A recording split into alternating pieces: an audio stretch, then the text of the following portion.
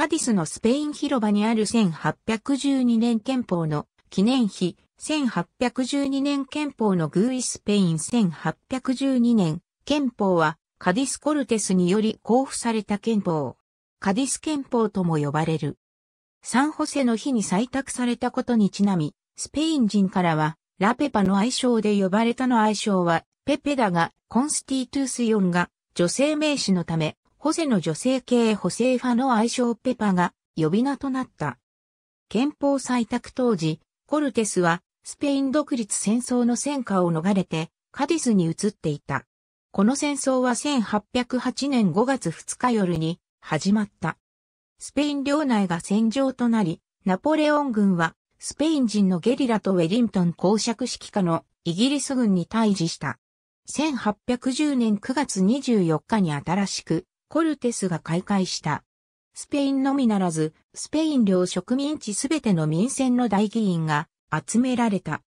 議会当日に出席したのは、議員総数180名のうち104名、そのうち47名は補充議員で、正当な議員は総数の3分の1程度であった。アメリカ植民地に割り当てられた議員数は27名であった。間もなく基本的諸原理が採択された。すなわち主権在民、スペイン国王としてのフェルナンド7世の正当性、第二子の不可侵性である。カディスコルテスでは激論が交わされ、スペイン最初の成文憲法が1812年3月12日にカディスで採択された。ナポレオンの武力介入前のスペインでは、ブルボン朝と旧ハプスブルク朝が絶対王政を敷いていた。憲法制定は議員数などに不満があるとしても、植民地人にとっては初めての国政参加であり、スペインと植民地アメリカの平等がわずかに進んだかのように思われた。スペイン領アメリカの指導者層の多くは、スペインに忠実であろうとあり続けたが、この後のフェルナンド7世の姿勢により、このムードはぶち壊された。